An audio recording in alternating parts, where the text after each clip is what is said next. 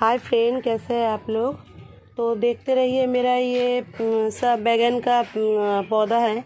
ये वाइट बैगन का पौधा है। देखिए, इसका फूल भी वाइट हुआ है। इसको ये भी वाइट बैगन का पौधा है। देखिए, इसके फूल भी वाइट हुआ है।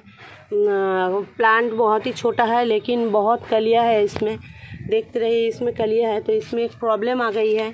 जो प्रॉब्लम मैं आप लोगों के साथ शेयर करूँगी, आप लोगों के बैगन के पौधे में भी आ सकती है। देखिए इसके एक पत्ते में ये दिख रहा है। ये क्या है मुझे पता नहीं है, मैं दिखाने की कोशिश कर रही हूँ आप लोगों को। देखिए, ये क्या है मुझे पता नहीं है। इंसेप्टिसाइड स्प्रे करूँगी लेकिन मुझे ये जानना है ये क्या है। मैं अलग कर ली, लिया हूँ। तो देखते रहिए और क्या क्या है ये। देखिए, मैं कॉन्फिडेंट स्प्रे कर रही हूँ। ये बोतल में ये जो पाइप है, ये जो मैं, अमेज़ोन से लिया था उससे, उसके साथ मैं ऐसे स्प्रे कर रही हूँ, देखिए। ऐसे स्प्रे कर रही हूँ। पत्तों के नीचे ज़्यादा स्प्रे करना है, लेकिन ये पत्तों के नीचे ही हुई है। पत्तों के नीचे ज़्यादा स्प्रे करना है। तो ये दिखाने के लिए आप लोगों को मैंने सोचा एक वीडियो कर दूँ कि आप लोगों की हेल्प हो जाएगी। सबकी बैगन की पौधे में होती है, फूल आती है, चली जाती है झड़ जाती है, क्यों होती है? तो आज और क्या क्या होती है, मैं आप लोगों को दिखाती हूँ।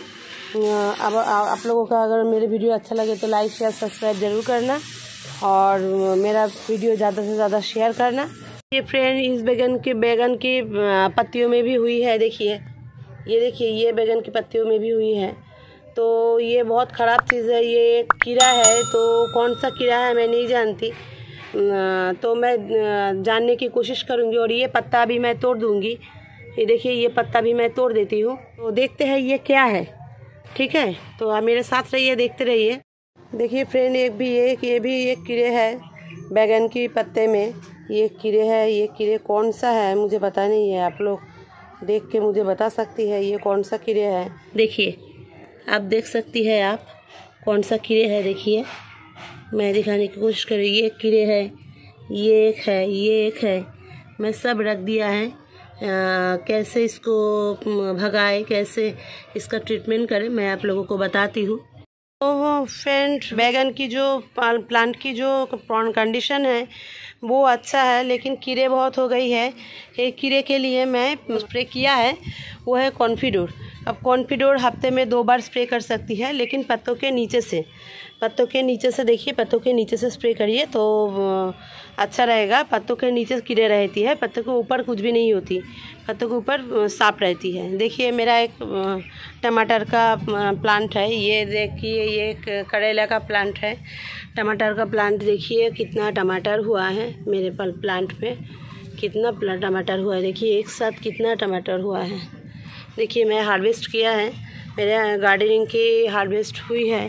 देखिए, मैंने थोड़ा थोड़ा करके कर रही हूँ, लेकिन मेरा भाड़े का घर है, इसलिए मैं कर नहीं सकती ज़्यादा।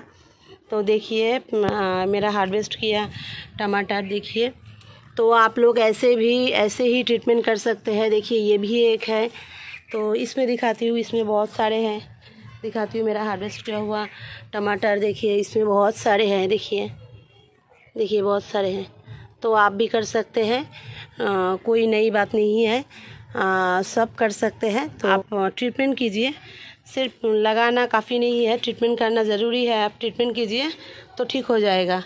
तो मैं आज रखती हूँ। मेरा वीडियो अगर आप लोगों को अच्छा लगे तो लाइक शेयर सब्सक्राइब ज़रूर करना। ज़्यादा से ज़्यादा शेयर करना क्योंकि ये जो बीमारी है मैंने आप लोगों को दिखा है, वो खतर, बहुत ख़तरनाक है। तो आज मैं रखती हूँ फ्रेंड बाय बाय